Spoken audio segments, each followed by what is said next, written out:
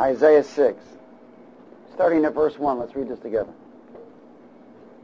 In the year that King Uzziah died, I saw the Lord sitting on a throne, high and lifted up, and the train of his robe filled the temple. Now that's powerful. Okay. Above it stood seraphim. Each one had six wings. With two he covered his face. With two he covered his feet. And with two he flew. And one cried out to the other and said, Holy, holy, holy is the Lord of hosts. The whole earth is full of his glory. And the posts of the door were shaken by the voice of him who cried out, and the house was filled with smoke. So I said, Woe is me, for I am undone, because I am a man of unclean lips and I dwell in the midst of people of unclean lips. For my eyes have seen the King, the Lord of hosts. Let me tell you something. When you see the King, Lord of hosts, you'll realize how filthy we really are because of his pureness and holiness. Then one of the seraphim flew to me, having in his hand a live coal, which he had taken with the tongs from the altar. And he touched my mouth with it and said, Behold, this has touched your lips. Your iniquity is taken away, and your sin is purged. Also I heard the voice of the Lord saying, Whom shall I send? And who will go for us? Then I said, Here I am, send me. And, he said, Go and tell this people, keep on hearing but do not understand. Keep on seeing, but do not perceive. Make the heart of this people dull, and their ears heavy, and shut their eyes, lest they see with their eyes, and hear with their ears, and understand with their heart, and return and be healed. Because they were rebellious. They were rebellious. And one of the things that was happening with Isaiah is the Lord brought him in the spirit to the throne room of God. He saw the living creatures. He saw the seraphim. He saw the things that were happening at the throne room of God. He couldn't even speak standing in the presence of God because he is so holy and so pure. And then the angel came over and cleansed him so that he could speak. But the Lord was looking at man. And one of the things he was saying is, who will see things through for me? Who will see things through for me? And one of the things that God wants his children to do is see things through. Seeing things through. Amen. And that's what we're going to talk about, seeing it through. Because you and I must learn how to see it through and understand consequences. Now, things can happen when we don't see things through. Amen? Amen? Praise be to God. Turn to 1 Corinthians chapter 2. 1 Corinthians chapter 2 and verse 9. 9, 10, and 11. Would you read it with me? Oh, hallelujah. And we can go 12 too. but as it is written, eye has not seen, nor ear heard, nor have entered into the heart of man the things which God has prepared for those who love him. You got to understand, he says, eye has not seen. Eye has not seen. Now, what is he talking about? That it goes into the heart of man. The heart of man is a representation of the man's character of his spirit. So the heart and spirit are one. But it's his character of his spirit is what his heart is a representation of. And he says that these things need to enter into his heart so that he can see. Does everybody understand that? So that we can see things through. Now look at. He says, but what? Verse 10. But God has revealed them to us through his spirit. So without being in the Spirit, you will not see things through. And you can be in the Spirit and still refuse to see things through. For the Spirit searches all things, yes, the deep things of God. For what man knows the things of a man except the Spirit of a man which is in him? Even so, no one knows the things of God except the Spirit of God. So it's our responsibility to get deep into the Spirit so that we can see things through. Does everybody understand? Now go to verse 12. Now we have received not the spirit of the what? World. Now who's the spirit of the world? Satan. Right. And what does it say? He's the ruler, isn't he? And does he not blind everyone? Right? Okay. But we've not received that spirit, right? But we have, but the spirit who is from God, that we might know the things that have been freely given to us by God. So it says that we might know the things. In other words, you and I have a choice to get into the Spirit and stay there and begin to see the things of God. But there's certain things that we must do. We must see things through. Not just get caught up in present circumstances. In other words, you know, yes, we are with the God of now, aren't we?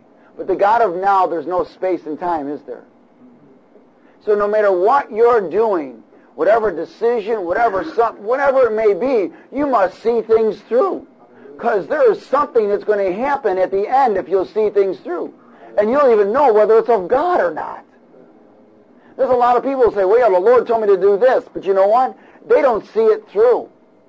And they'll find out that it really wasn't God. Amen? Eye is not seen, only in spirit. In other words, okay, why then do people fall behind in debt, circumstances, sin, backsliding, bondage, all of these things? Why? Because they don't see things through to the other side. Because they don't, lo- they lose sight that there's a cause and effect to everything. Even certain things people re- don't don't realize until afterwards. People, somebody can go out and buy a piece of some music, right? They can go out and buy some music, and they can say, well, it's uh, they they hear a couple songs off of it, and they don't get really listen to the whole thing, and they find out that the music really isn't right. And what happens is they hold on to it because they paid for it instead of getting rid of it. And the music is keeping them in the outer courts instead of bringing them in the holy of holies. So we got to make choices, don't we? When every choice that you and I make, we must see it through. If you don't see it through, you'll always end up in bondage. Buying a car, buying a house, in relationships, uh, jobs. Every decision that you and I make, we must see it through. What is the end result going to be? Even when you say something to somebody, what is the end result going to be? There's too much blabbing of the mouth and not enough seeing things through. There's too much uh, doing of something and not seeing it through. There's too much of making commitments and not seeing things through. Amen. Amen? You know, there are people who take a job and work six days a week and are not seeing things through that they're actually backsliding and don't even know it. Because they're not giving their time to God. You can't give time to God by working six days a week and just going to ministry. You must take your own time to God. You will eventually bite the bait. Does everybody understand? You'll eventually bite the bait because you're not sowing enough time to God. There are people that are so committed to so many other things and are not seeing things through. Decisions that they've made, not seeing it through. And then they wonder why God isn't using them or holding them back. Because he can't trust someone that can't see it through. He can't trust someone that's leaning on everything else but him, even though they make confession that they're leaning on him, but they're not. They're still leaning on them. Or they would give up some of these things. Ezekiel 12. You know, sometimes there, there's people that will they'll go out and buy a car because that's the car they want. Amen. but they don't see it through. they're not seeing it through because they're really not checking the car out, are they? Now, don't get me wrong. When God says buy the car, depending where you are with God, you'll know, and you won't even have to check it out. But the Lord says test all things, doesn't he? Amen. He says test all things. Same thing with relationships. People get married without seeing it through. Amen. Then they wonder why they have turmoil and whatever. They're not seeing it through. You know why? Because they want what's want right now, and they're not allowing God to show them because only in the Spirit. See, when you want, it moves you out. That's why the Bible says, the Lord is my shepherd, I will not what? Want. See, when we remove him from shepherd, it means you and I want, and what happens is you can't see it through because you're not in the Spirit. The only thing you're concerned about is what's happening for your pleasure right now. Amen. And then people are only concerned about, well, I got bills to pay, I got this to do, I got, you know what? Two eyes, you're out. two eyes and you're out. It ain't three eyes, it's two eyes.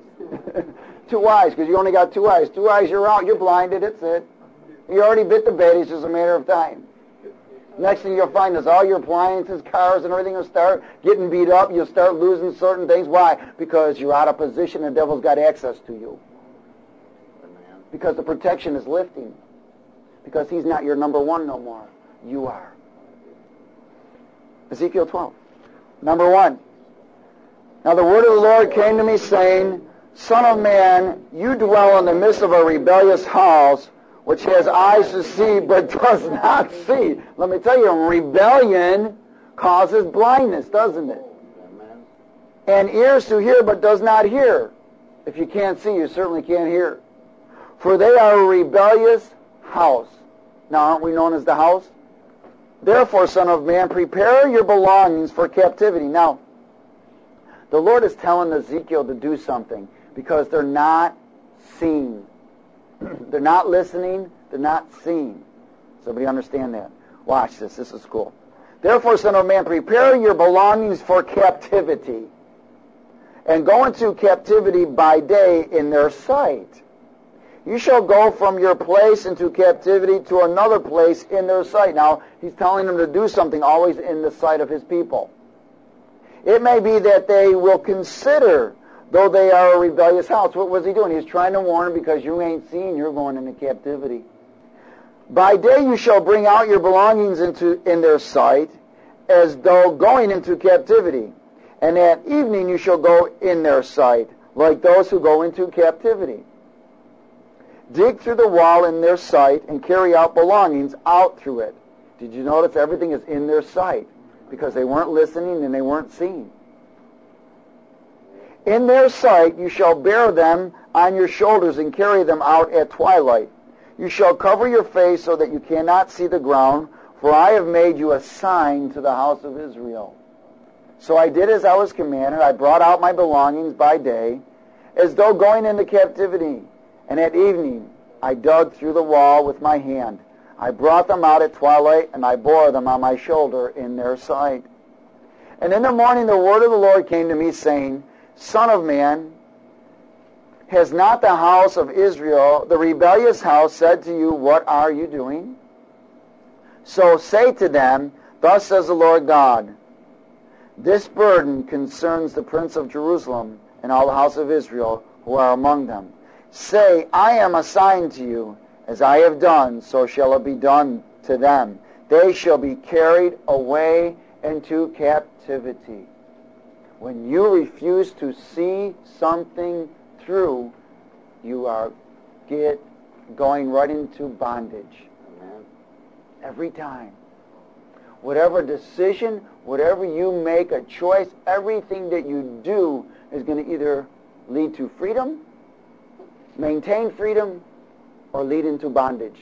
So if you're not seeing something through, we've got everybody say, Lord, Lord, I'm going to see it through I'm going to see it through. from this night forward. forward. In Jesus' name. Jesus' name.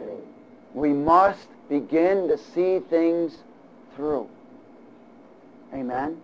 That's why people get caught up in all these circumstances and whatever. If we if we don't see things through, we get brought into bondage every time. Acts 28, 24. Now Paul was speaking to the Jews, and uh, he was trying to lead them to the Lord and tell them about the Christ. And in verse 24, and it said, And some were persuaded by the things which were spoken, and some disbelieved. So when they did not agree among themselves, they departed after Paul had said one word. The Holy Spirit rightly spoke rightly through Isaiah the prophet to our fathers, and that's what we read a few minutes ago, saying, Go to this people and say, Hearing you will hear, and shall not understand, and seeing you will see, and not perceive. For the hearts of this people have what? Grown dull.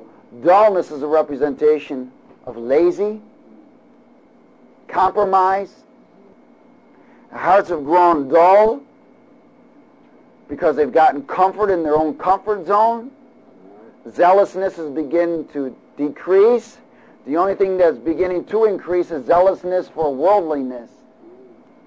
Their hearts have grown dull. Why? Because they're going, I want, I want, I want. Other things of the world. Then they find out because they didn't see it through that they have to end up giving them up. Yes. Because they can't maintain them. Because it wasn't God.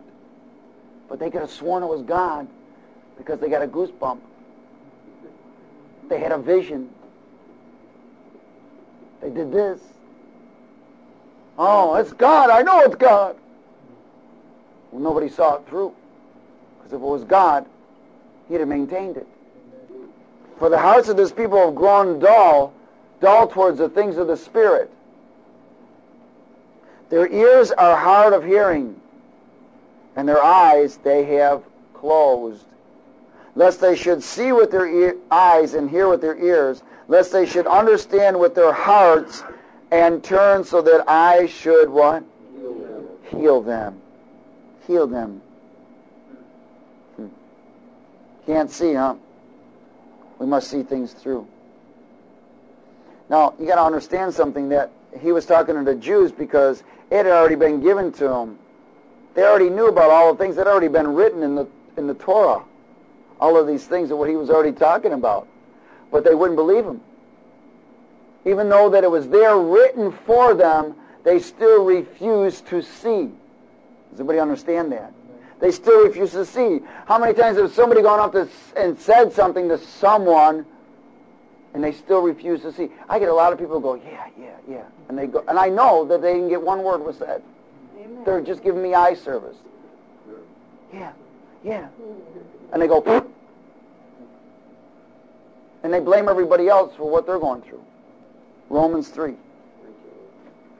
Oh, hallelujah. I'm going to see it through from this night forward. Hallelujah. You know, there was a powerful uh, flick that my wa- uh, was a touch by an angel. My we we copied it, and, and it was about this woman who was the demon, and everything she walked by, computers and everything were messed up. I mean, they were constantly messing up. Everything was being destroyed because the hedge of protection was lifted. Romans 3, chap, uh, chapter 3, verse 10. As it is written, there is none righteous, no, not one. There is none who understand. There is none who seeks after God. They have all turned aside. They have together become unprofitable. There is none who does good, no, not one. Their throat is an open tomb. With their tongues they have practiced deceit. The poison of apes is under their lips. Whose mouth is full of cursing and bitterness. Their feet are swift to shed blood. Destruction and misery are in their ways. In the way of peace they have not known. There is no fear of God before their eyes. You know, what sometimes we take God as just, because we hear so much about He's our friend and whatever, but we lose sight in how truly holy He is. Amen. How truly holy He is. And so what happens is we don't see things through because we take God nonchalantly. Because there is no reverence the way there should be towards Him. Amen. See, if there was that reverence towards Him all the time, we would begin to see things through. A lot more than what we do. Amen. Hallelujah. Would you turn to John 14? Oh, hallelujah.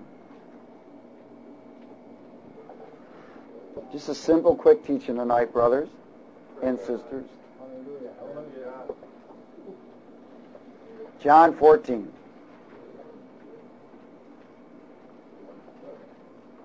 I'm going to see things through. Hallelujah.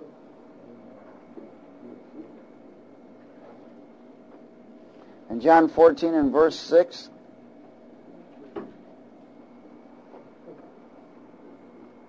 John 14 and verse 6. And Jesus said to him, I am the way, the truth, and the life.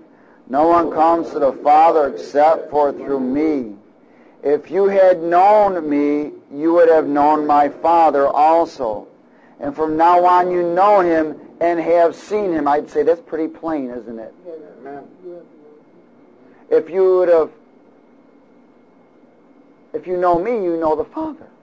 If you see me, you see the Father. Right? Now look what Philip does. He says, Lord, show us the Father, and it is sufficient for us. Hello. He needed to have the soul slapped out of him. He needed to have the scales removed from his eyes. You know why? Because he chose not to see even though it was right in front of him. It can be right in front of me and you. And sometimes we choose not to see. And Jesus said to them, Have I been with you so long? How many times has the Lord said to us, How many times are you going to learn this thing?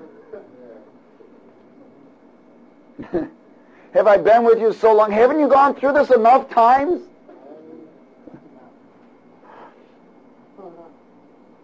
You know what? You know, so many times when we're getting ready to do something, make a decision, we see something, and if God's trying to tell us, and we just go, push it over to the side, thanks, Lord, and we go.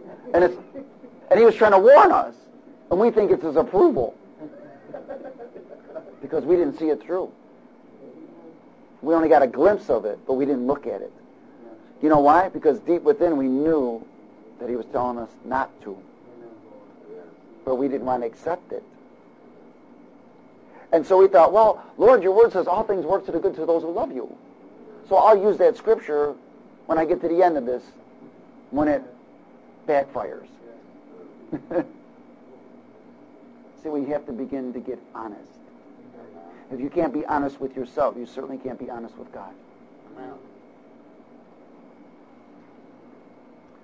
Jesus said to him, Have I been with you so long, and you have not known me, Philip? He who has seen me has seen the Father. So how can you say, show us the Father? I think it was a powerful rebuke. Have you not gone through this enough?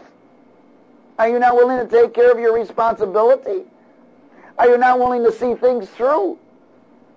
You wouldn't be in this circumstance if you saw things through. You would have to give up so many things because you can't maintain them because you didn't see it through. You know when people open a business and they're bound to it because they didn't see it through? Amen. Man, they're now serving the devil through the business. I mean, people get themselves in debt because now they got to serve the devil and they don't even realize. Let me tell you something. When money serves you, you're serving the devil. I mean, when you're serving money, you're serving the devil. But when money serves you, you're serving the Lord. There's a difference. Oh, my people of God. How many times you got to go through this? Philip didn't see or understand. Understanding brings sight. Understanding brings sight. No understanding, you're blinded.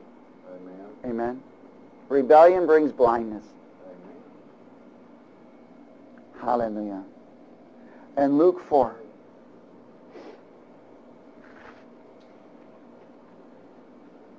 Luke chapter 4.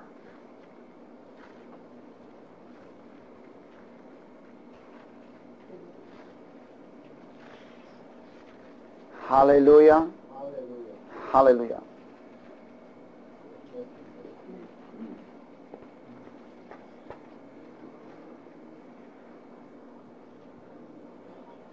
In Luke chapter 4 and verse 18. Would you read it with me? Luke chapter 4 and verse 18. Hallelujah. Hallelujah.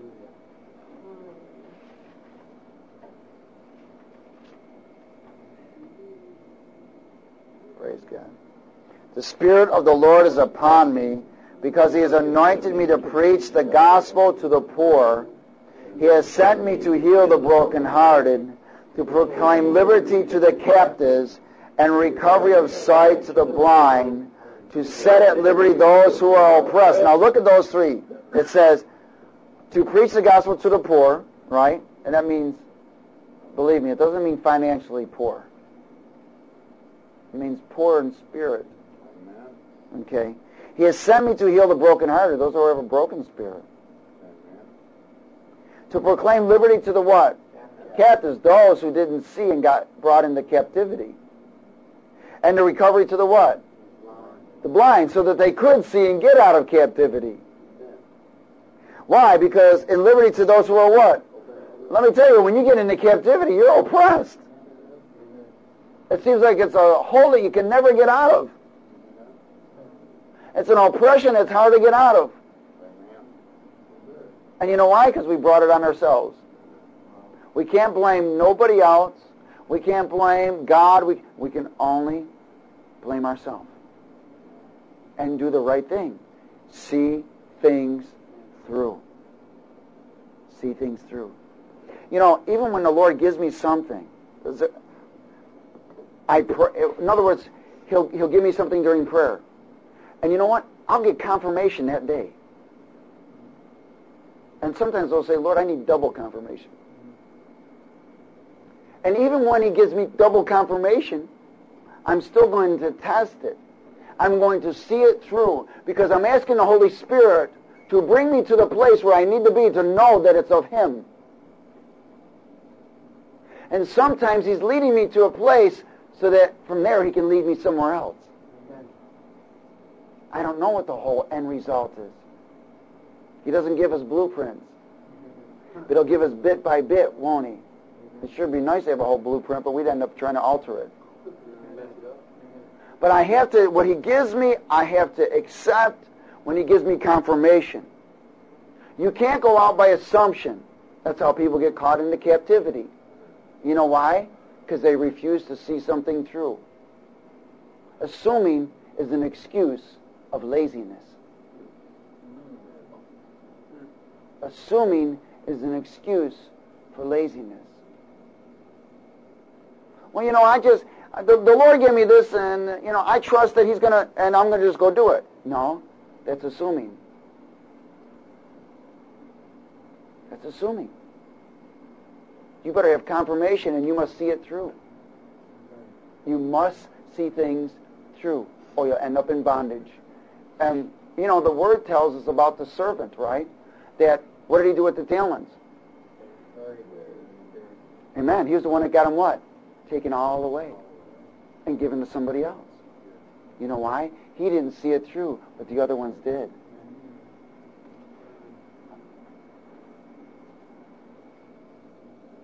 Hallelujah. And to proclaim the acceptable year of the Lord. So the anointing of the Holy Spirit brings us sight. But you can still have the Holy Spirit and be filled and choose not to see. You can sit there and pray in the Spirit all day long and choose not to see. You can go to 14 services in a day and still not see. Because God does not force us to see. He allows us to see.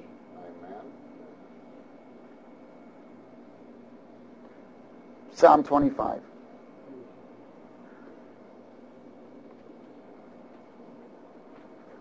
Oh, hallelujah.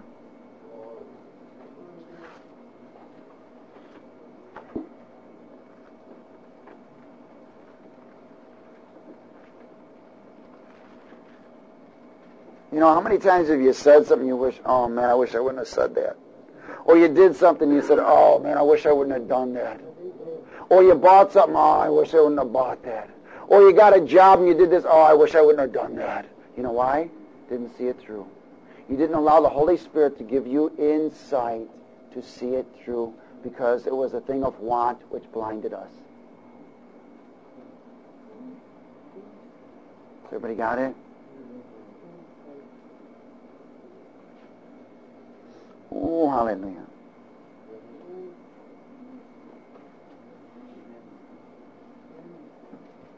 Amen. Insight, right? Everybody got it?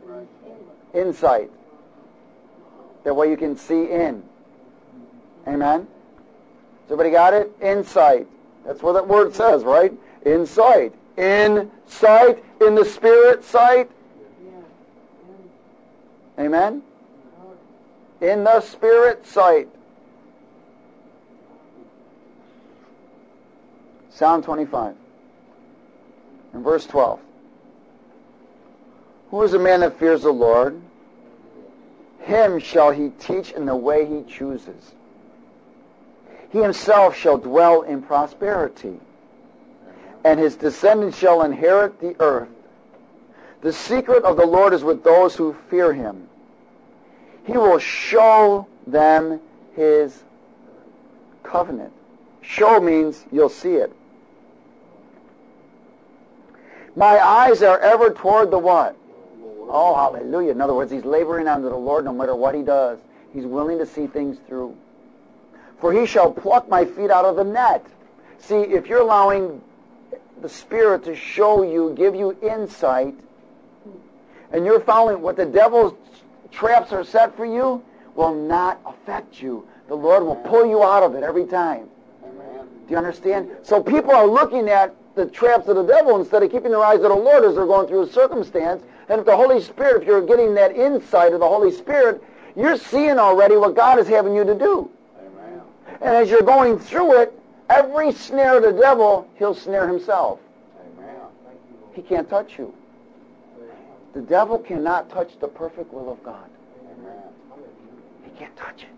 Amen. He cannot touch the perfect will of God. Amen. So when you're getting touched up, beat up, thrown down, cast out, all things are happening. You know why? You're out of the perfect will of God. It doesn't mean that we won't have trials and tribulations. It don't, doesn't mean that we won't be tested. But you'll see the devil snared in everything that he tries to do. Amen. And you'll walk. The hindrances will be there, the walls will be there, they'll be brought down. Amen. And you'll walk. And you won't decrease, you'll increase. Amen. God is not one who decreases. He increases. He told Adam and Eve, be fruitful and what? Multiply. He says, I've come to bring life and life more abundantly. Then why aren't enough believers walking an abundant life? They're not seeing it through.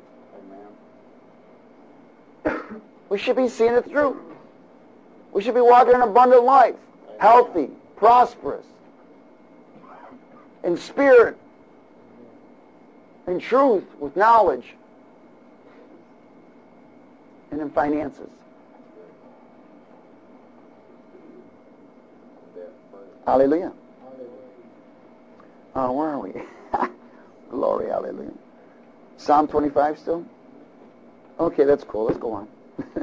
so we need to keep our eyes towards the Lord, right? Amen. In Revelation 3. Oh, hallelujah.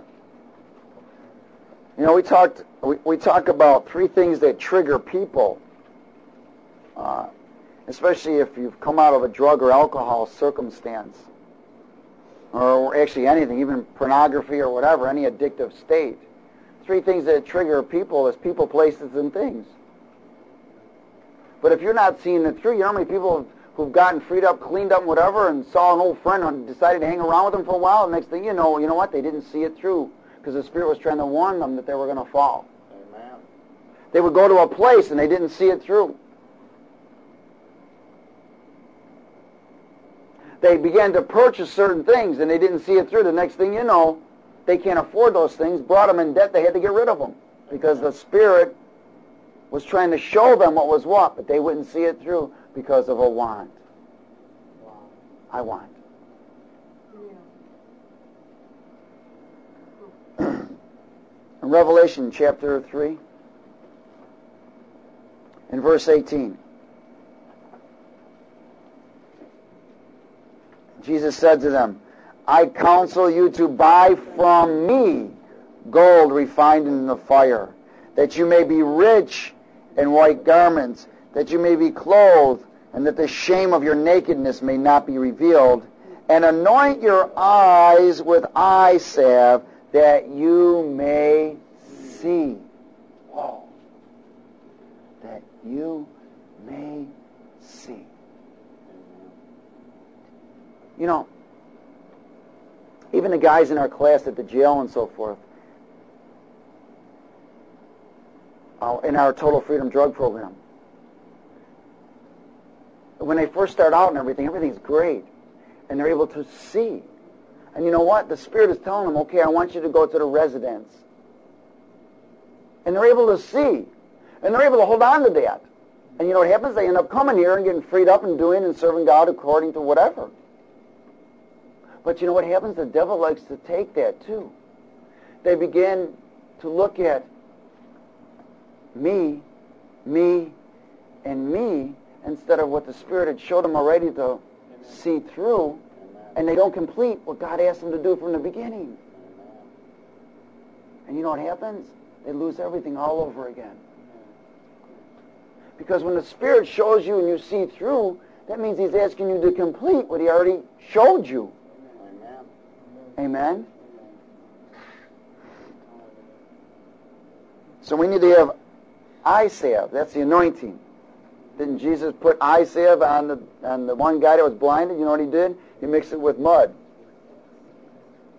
and saliva. Jesus can spit on me all day long. Praise be to God. Hallelujah. Whatever he's going to touch is going to be made whole. Praise God. Think about the woman with the issue of blood, and we hear that over and over and over. I mean, here was a woman that gave up everything to try and get the physical healing. Amen. She was out of money. She, I mean, she. Jesus was in town. the evangelist was in town. You know, and uh, the Spirit was moving on her. She actually saw it through, didn't she? Yes. She uh, she saw it through, and you know what? Even though physically she wasn't healed yet, spiritually she was. And what was going to happen is that's all she needed to do was make contact. You know what she had to do? Complete what she saw. When she completed what she saw, she was made whole. Instantly. I mean, she had to beat through and touch the hem of the garment, and she knew. See, she saw it that that's all she needed to do is touch him, and that she would be totally healed. Now, her circumstance caused her to go after him. She was out of money. She was dying. Nowhere to go. Probably lost her home and everything else. Street bound. It was over with. She was getting ready to die. Unfortunately, sometimes we have to get in those circumstances to look up. But we don't have to. If we'll see things through, we won't get into those circumstances. I mean, you know, we can all sit here and reflect on so many things that we didn't see things through. It brought us into bondage and how we lost this and how we lost that. You know, but we can't go to the back. We can't go to our past, but you know what we can do? Learn from it. Amen. Learn from it. Hallelujah. Second Kings, chapter 6.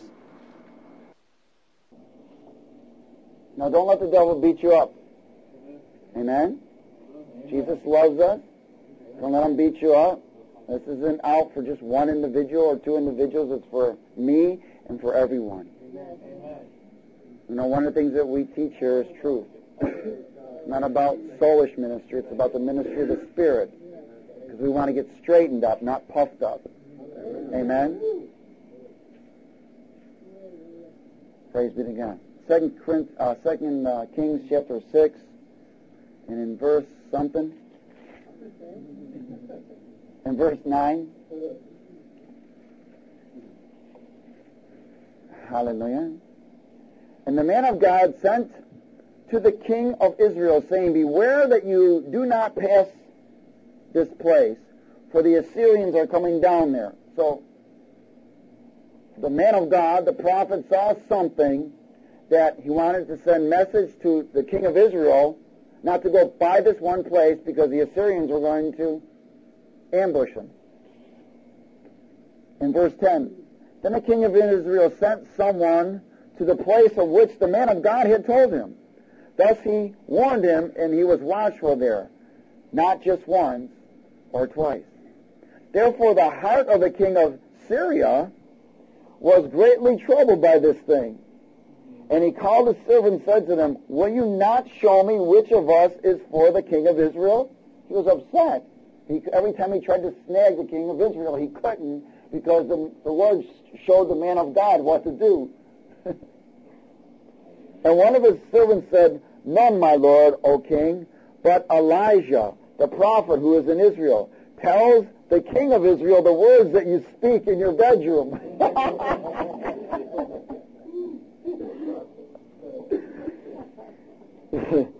so he said, Go and see where he is, that I may send and get him. And it was told him, saying, Surely he is in Donat, Dothan, Dothan, whatever. Verse 14. Therefore he sent horses and chariots and a great army there, and they came by night and surrounded the city. So remember, the Lord shows the man of God what's going on behind the bedroom, all right? Uh, oh, and verse 15. And when the servant of the man of God arose early and went out, there was an army surrounding the city with horses and chariots. And his servant said to him, Alas, my master, what shall we do? Now the servant of Elijah, uh, Elijah, was freaked out. He saw all of this army there. So Elijah said to him, he said in verse 16, he said, Do not fear, for those who are with us are more than those who are with them. Now, his servant didn't see anybody with him, did he? In verse 17, Elijah prayed and said, Lord, I pray, open his eyes that he may see. Then the Lord opened the eyes of the young man, and he saw, and behold, the mountain was full of horses and chariots of fire all around Elijah. See, if we'll just see. You know, the Word tells us that one angel can slay 185,000 people. The Word tells us that we have a legion of angels on our behalf. You know, we lose sight that we're king's kids, offsprings of the anointed one and his anointing, heirs of Christ, seeds of Abraham, chosen and predestined to be conformed into his image and likeness. We lose sight. You know why? Because we get caught up in now of our circumstance and we don't see things through. If we'll see things through, we'll see the other side. Amen. And we'll have victory. Oh, hallelujah. Okay. Um, praise God. Let's, let's go on. Uh, let's go to 2 Kings chapter 2.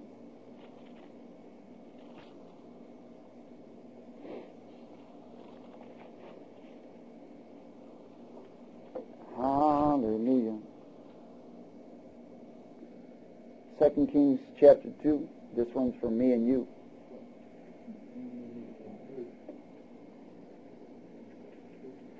Everybody there? Amen. Are we getting it? Are we going to use it? Hallelujah. And it came to pass when the Lord was about to take up Elijah into heaven by a whirlwind, that Elijah went with Elijah from Gilgal. Then Elijah said to Elisha, Elisha, Stay here, please, for the Lord has sent me unto Bethel. But Elijah said, As the Lord lives and as your soul lives, I will not leave you. So they went down to Bethel. Now, Elijah saw something through. He said, No way, Jose. You are not getting out of my sight because there's something I see that's not just temporary. There's something I see that's not just right here. I'm seeing something through here, and you're not getting out of my sight. I'm following you all the way. Now the sons of the prophets who were at Bethel came out to Elijah and said to him, Do you know that the Lord will take away your master from over you today? And he said, Yes, I know. Keep silent. In other words, he said, Shut up. Don't you? Listen, you're going to always get opposition from seeing through. If you think the devil's just going to sit there and let you see through, he won't. He's going to uh, give you opposition. He does not want you to see through to the other side. Because why? That's where the trap is at. Isn't the greatest weapon of the devil deception?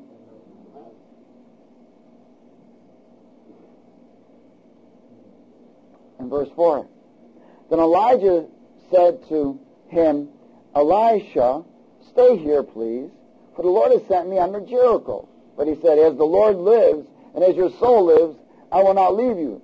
So they came to Jericho. He was still seeing through.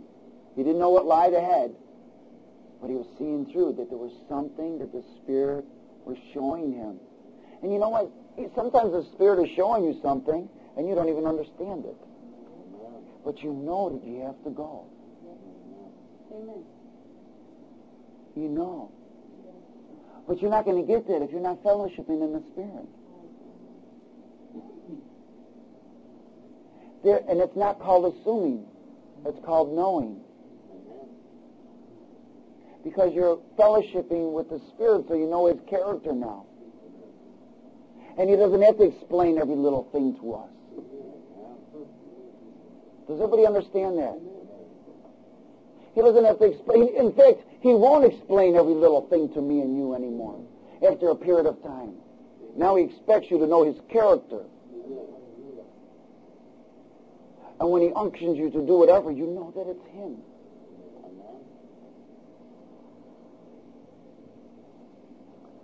Hallelujah. Now the sons of the prophets who were at Jericho came to Elijah and said to him, Do you know that the Lord will take away your master from over you today? And he said, Yes, I know. Keep silent. Again, he wasn't going to let anything interfere with the Spirit had showed him because he saw through. Then Elijah said to him, Stay here, please, for the Lord has sent me on to, to the Jordan. But he said, You're crazy, man. I'm going with you. No, he said, As the Lord lives and as your soul lives, I will not leave you. I will not leave you. I will not leave you. I will not lose focus. I will not be deterred from any way. I will not, nothing is going to interfere with what I see. Nothing's going to interfere, right? Nothing. Now we got another inner, don't we? It's called inner what? Fear. Hallelujah. But anyways, we want insight, don't we? We want to go all the way. Hallelujah. Then Elijah said to him, stay here. Okay, we did that. In verse 7, and fifty men of the sons of the prophets went and stood facing them at a distance while the two of them stood at the Jordan.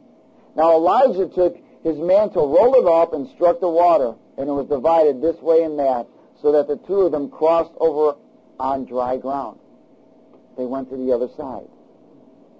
See, if Elijah had said, okay, I'll wait here, he would have never gone to the other side. Okay? Now the Spirit brings him to the other side because he was getting ready to give him something. So it was when they had crossed over that Elijah said to Elijah, Ask what I may do for you before I am taken away from you. Elijah said, Please let a double portion of your Spirit be upon me. See, when God gives you something and you complete it, he can trust you. Amen. And you know what? He says, ask me now. You don't have to go ask him. He'll tell you, ask me. Why? Because he can trust you to complete what he gave you. People struggle to get things because they haven't completed the first thing God gave them.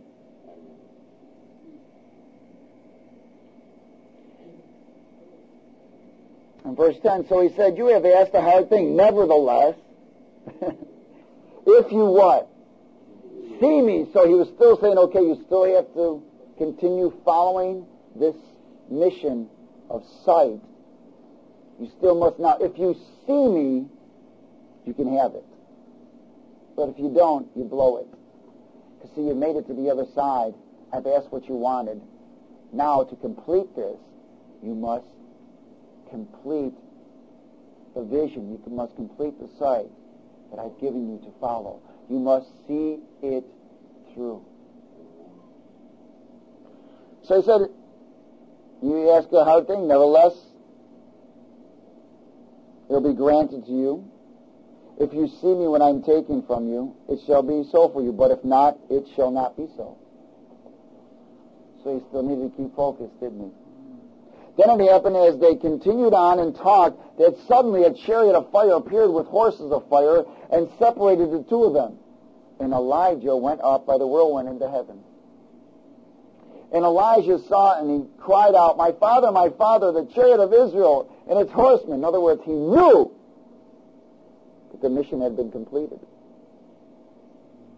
So he saw him no more and he took hold of his own clothes and tore them into two pieces.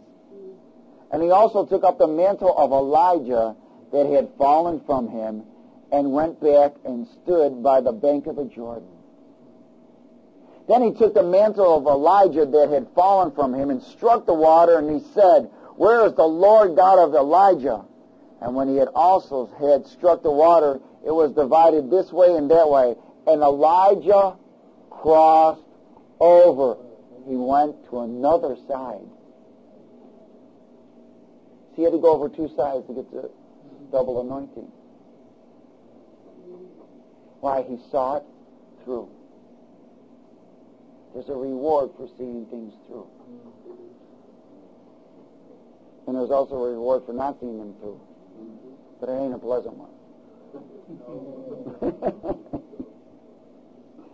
oh, hallelujah. He saw it through 1 Samuel 17. Glory, hallelujah. Everybody all right? 1 Samuel 17. Glory to God. I'm going to see it through. I'm going to see it through. 1 Samuel 17 and verse 24.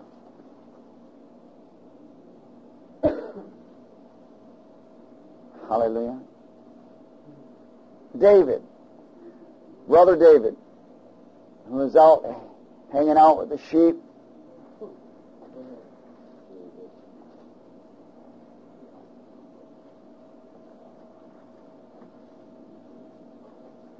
Uh, let's start at verse 21.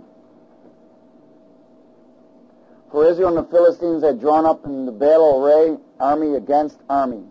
And David left his supplies in the hand of the supply keeper, ran to the army, and came and greeted his brothers. And he talked with them there with the champion, what was the champion, the Philistine of Gath, Goliath by name, coming up from the armies of the Philistines, and he spoke according to the same words. So David heard them. And all the men of Israel, when they saw the man, fled from him and were dreadfully afraid.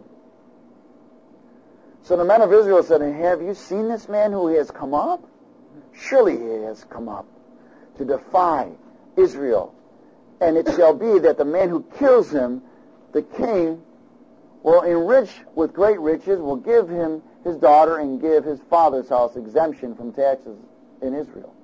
Then David spoke to the man who stood by him, saying, What shall be done for the man who kills the Philistine and takes away the reproach of Israel? For who is this uncircumcised Philistine that he should defy the armies of the living God?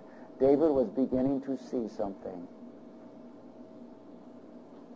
And the people answered him in this manner, saying, Who shall it be done for a man who kills him?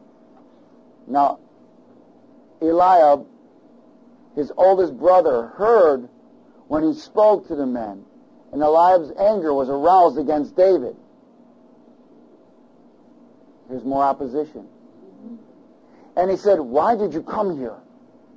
And with whom have you left those few sheep in the wilderness? I know your pride and insolence of your heart, for you have come here to see the battle. And David said, What have I done now? Is there not a cause? Then he turned from him toward another and said to the same said the same thing. And these people answered him as the first ones did. Now when the words which David spoke were heard, they reported them to Saul, and he sent for him. And David said to Saul, Let no man's heart fall before him. Your servant will go and fight with this Philistine.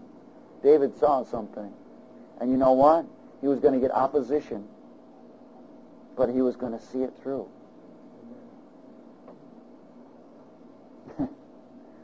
Hallelujah. Go to verse um, somewhere.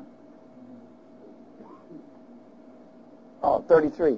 And Saul says to David, David, you are now able to go against this Philistine to fight with him, for you are a youth, and he a man of war from his youth. So already here was the second opposition, wasn't it? His brother, and then the king of Israel said, You're crazy, kid. Go to verse 37. Moreover, David said, The Lord who delivered me from the paw of the lion and from the paw of the bear, he will deliver me from the hand of this Philistine. And Saul said to David, Go, and the Lord be with you. he said, Okay, go. In verse 41. So the Philistine came and began drawing near to David, and the man who bore the shield went before him. And when the Philistine looked about and saw David, he disdained him, for he was only a youth, ruddy and good looking. So the Philistine said to David, Am I a dog that you come to me with sticks? Third opposition. And the Philistine cursed David by his gods. And the Philistine said to David, Come to me, and I will give your flesh to the birds of the air and the beasts of the field. Then David said to the Philistine, You come to me with a sword, with a spear, and with a javelin, but I come to you in the name of the Lord of hosts, the God of the armies of Israel, whom you have defiled.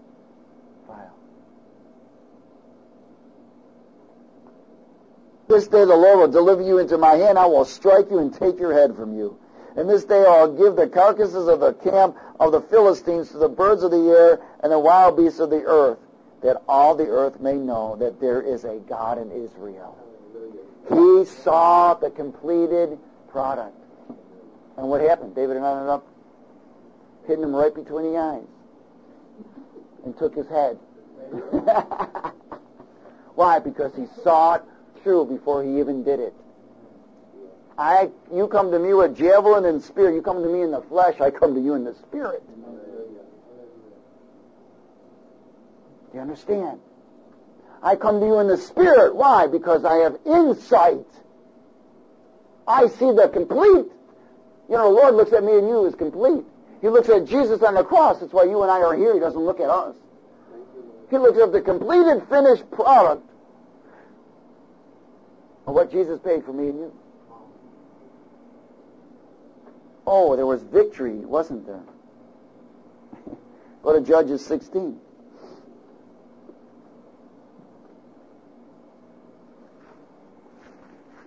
Judges 16. Glory to God. Victory and seeing it through. Victory. Hallelujah.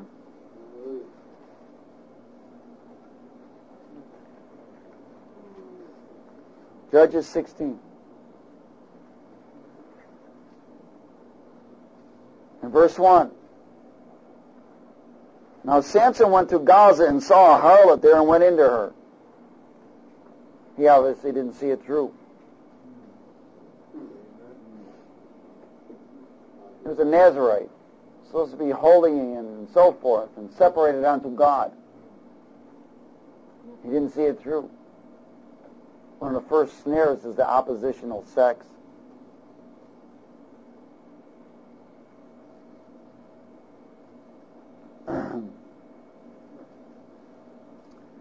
When the uh, Gazites were told Samson had come here, they surrounded the place and lay wait for him all night at the gate of the city. They were quiet all night, saying, In the morning, when it is daylight, we will kill him. And Samson lay low till midnight. Then he arose at midnight, took hold of the doors of the gate of the city, and the two gate posts, pulled them up, bar and all, put them on his shoulders, and carried them to the top of the hill that faces Hebron. Afterward, it happened that the, he loved a woman in the valley of Sorek, whose name was Delilah. Delilah, another one. David didn't, uh, Samson did not see through. Anyways, he went on and went on, and uh, Samson said, uh, so Delilah, Delilah said to Samson, please tell me where your great strength lies and with what you may be bound to afflict you. Because she was getting paid to find out. And uh, Samson said to her, If they bind me with seven fresh bowstrings, not yet dried, then I shall become weak and be like any other man. Now, he lie, he's lying to her, isn't he? Yeah. He ended up lying to her three times. You would think that Samson would get it, that the girl was trying to snare him. You know why? Because he wasn't seeing through. He was only interested in satisfaction of now. He was called to be the deliverer of Israel. And you know what? Because he didn't fulfill what God asked him to do, Israel went into captivity. Three times. You think David or Samson would get it by now? Amen. Go to uh, verse uh, 13. Delilah said to Samson, Until now you have mocked me and told me lies. Tell me what you may know, what you may be bound with. And he said to her, If you weave seven locks of my head into the web of the loom, and so forth. So she did that too, and it didn't work. in verse 16, And it came to pass when she persisted him daily with her words, and pressed him so that his soul was vexed to death. You think that he would get it by now. Do you understand? The, the girl was obviously trying to kill him for money. And he wouldn't see it because he was blinded. He wouldn't see it through. Right? In verse 21. So he finally opened his heart to her and told her the whole thing. Didn't he? He didn't see it through. Then the Philistines took him and what? Let me share something with you. When you don't see it through, your eyes will be put out. Why? You'll be blinded. Totally lost, vision, sight, everything.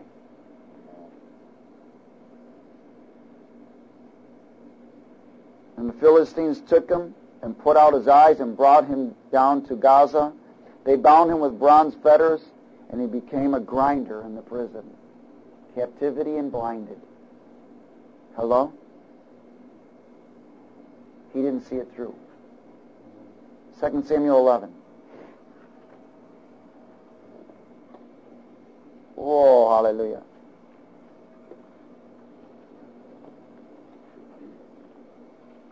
Second Samuel 11. Is everybody all right? A few more scriptures and we're done. Hang tough. 2 Samuel 11.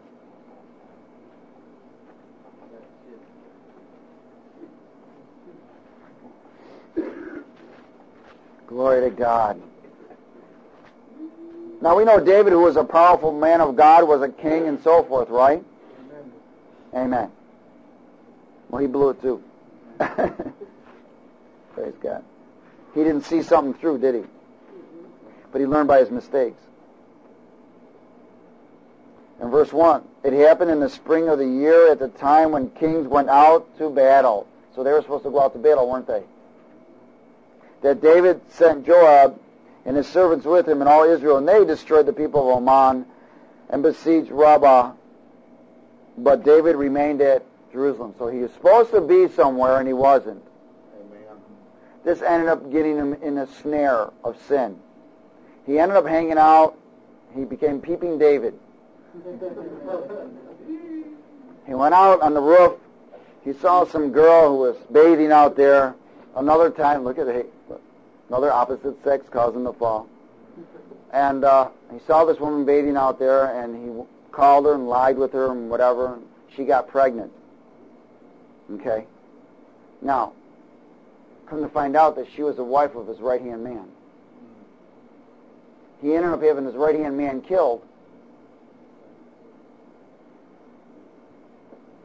She ended up moving in with him.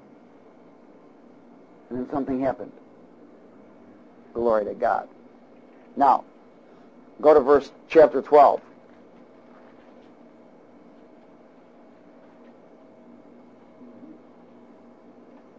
In verse 1. Then the Lord sent Nathan to David and came to him and said to him, There were two men in one city, one rich and the other poor. The rich man had exceedingly many flocks and herds, but the poor man had nothing except one little woo, ewe, lamb, which he had bought and nourished, and it grew up together with him and his children. It ate of his own food and drank from his own cup and lay in his bosom, and it was like a daughter to him. And a traveler came to the rich man who refused to take from his own flock and from his own herd to prepare one for a wayfaring man who had come to him. But he took the poor man's lamb and prepared it for the man who had come to him. So David's anger was greatly aroused against the man, and he said to Nathan, As the Lord lives, the man who has done this shall surely die. And he shall restore fourfold for the lamb because he did this thing and because he had no pity. And Nathan said, David, this be you. You are the man. Thus says the Lord God of Israel, I anointed you king over Israel. I delivered you from the hand of Saul. I gave you your master's house and your master's wives into your keeping and gave you the house of Israel and Judah. And if that had been too little, I also would have given you much more. In other words, it's over with. Why have you despised the commandment of the Lord to do evil in his sight? You have killed Uriah the Hittite with the sword. You have taken his wife to keep your wife, to be your wife, and they have killed him with the sword of the people of Ammon. Now therefore the sword shall never depart from your house, because you have despised me, and have taken the wife of Uriah the Hittite to your wife, to be your wife. Thus says the Lord, Behold, I will rise up adversity against you from your own house, and I will take your wives before your eyes, and give them to your neighbor and he shall lie with your wives in the sight of the sun. For you did it secretly, but I will do this thing before all Israel, before the sun. So David said to Nathan, I have sinned against the Lord. And Nathan said to David, The Lord also has put away your sin. You shall not die. However, because of this deed, you have given great occasion to the enemies of the Lord to blaspheme the children also who is born to you shall surely die. Now understand this. What happened is because David didn't see this through. One of the things that happened is he brought a curse on his family line. He lost the child. His sword would never rest and he could not build the house of God because of the blood. Because he didn't see it through. Even though God forgave him, you still reap what you sow. Amen. All of us in here are still reaping what we've sowed in our life, even though God has forgiven us. But how much more reaping do you want to pick up?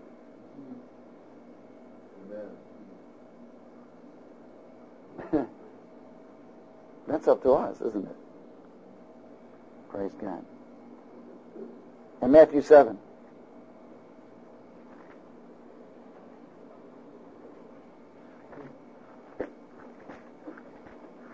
Oh, hallelujah. I'm gonna see it through.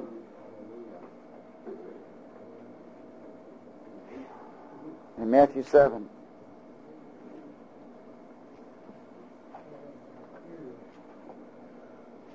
in verse 1. Judge not that you not be judged. For with the judgment you judge, you will be judged. And with the measure you use it, it will be measured back to you. Now, Jesus never said not to judge. You're supposed to judge. How else are you going to know what to do? Especially who you're going to hang around with. And why do you look at the speck in your brother's eye, but don't consider the plank in your own eye? That's someone that's not checking himself out. You know why? He's only looking at now and can't see things through. He's blinded.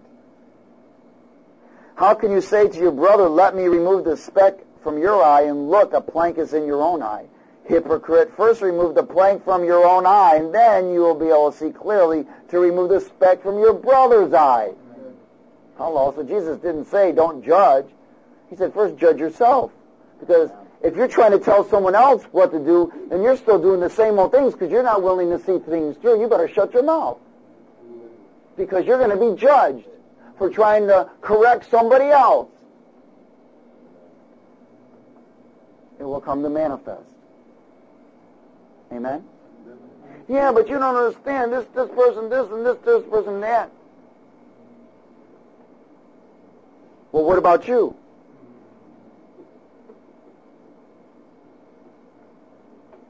Well, I, uh, well, that was different. No, you didn't see it through. And now because you didn't see it through, by trying to correct someone else, you will be judged by God.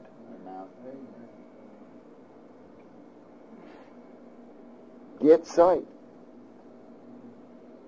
Ooh, Matthew 6. We'll back up a little bit. Two verses in Matthew 6, 22 and 23. Would you read it with me? The lamp of the body is the eye. The lamp of the body is the eye. If therefore your eye is good, your whole body will be full of light. But if your eye is bad, your whole body will be full of darkness. If therefore the light that is in you is darkness, how great is that darkness? Let me share this with you. What you see is what you get. Amen. What you refuse to see will get you. You want this again? What you see is what you get.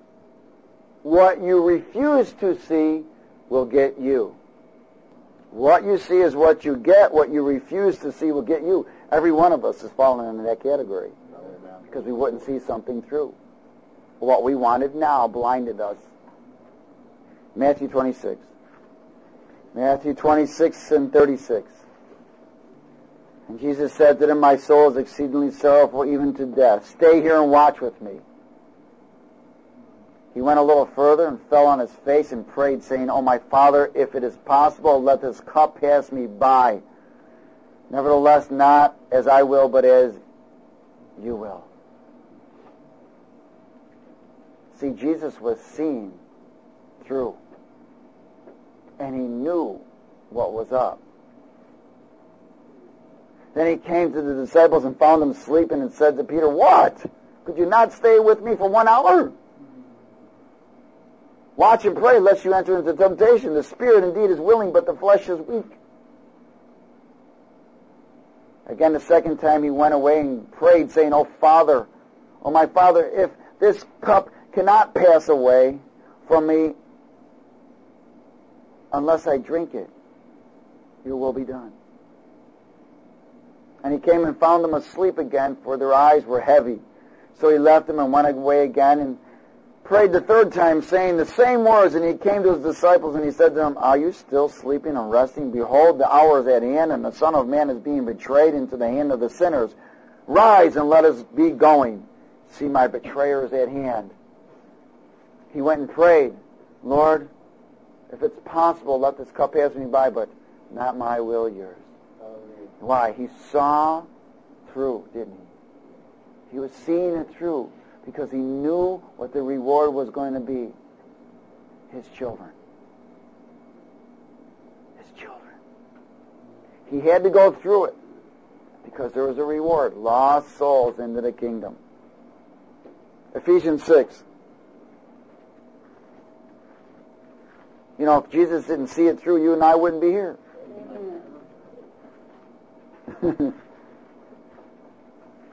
We wouldn't be filled with the Holy Ghost.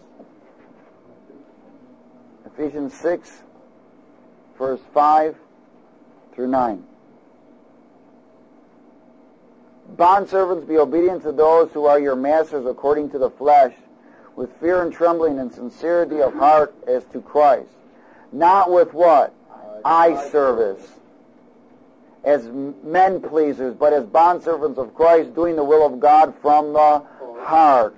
With goodwill doing service as to the Lord and not to men, knowing that whatever good anyone does, he will receive the same from the Lord, whether he is a slave or free. So not with eye service, right? Not going, yeah, yeah, yeah, yeah, yeah. Yeah, yeah, yeah, okay. Oh, yeah, okay. oh, they're looking. I better do something. Okay, they're not looking. Eh, who cares? Okay, I'm behind closed doors now. Nobody can see what I'm doing. Oh, really? He does. You know what? That's somebody that's not seeing things through. Because they don't realize that the eyes of the Lord are upon them.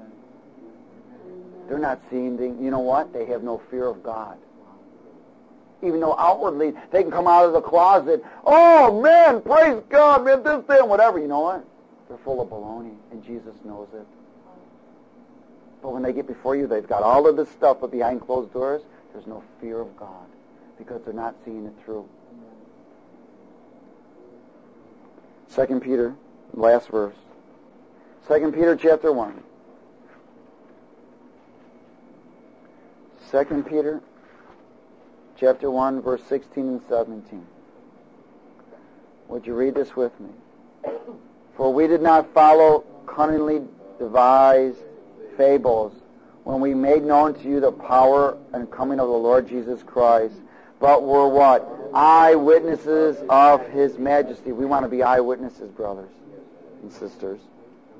For he received from God the Father honor and glory when such a voice came to him from the excellent glory. This is my beloved Son, and whom I am well pleased. And that's what we want to hear. This is my beloved child, whom I am well pleased, who is willing to see things through and not get caught up with the things of the world and self. Listen, let's start practicing seeing things through. You'll find out that you won't hurt other people, and you won't hurt you. You'll be more victorious and you won't bring shame in the name of the Lord, and you won't be a fool. And people won't think that you're a granola saying God has told you to do all these things when you're not seeing it through and it's not coming to pass. And it's not working right. Amen? Praise God. Father, we thank you for your word. We plead the blood of Jesus on the seed. Lord, help us to see things through. We repent for all the times that we didn't see things through and brought shame to you, a stumbling block to a brother or sister, and to ourselves. Now, Father, we commit these things to you. We ask for your forgiveness, for your mercies, and for your grace, and that you reestablish us with insight that we may see things through in Jesus' name. And everybody said, Amen. Amen. Hallelujah.